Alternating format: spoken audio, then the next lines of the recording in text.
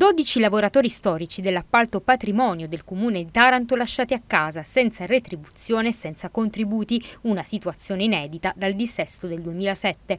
E la denuncia di Filcams CGL Taranto che evidenzia come i dipendenti siano stati dichiarati sospesi lo scorso 30 giugno, nonostante l'abnegazione, lo spirito di servizio e il senso di responsabilità. Due anni fa ci hanno detto di entrare eh, come invalidi al comune e si erano divisi tra CISL e CGL.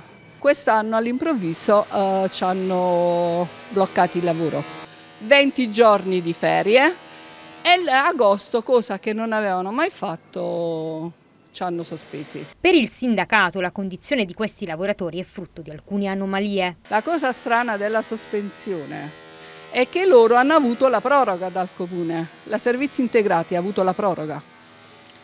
Quindi perché non ci hanno fatto continuare a lavorare, questa è una cosa che non si sa.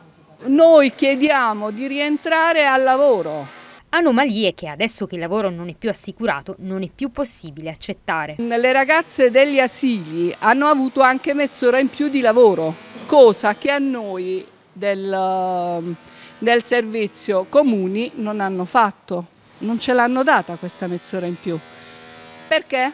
Se siamo tutti servizi integrati?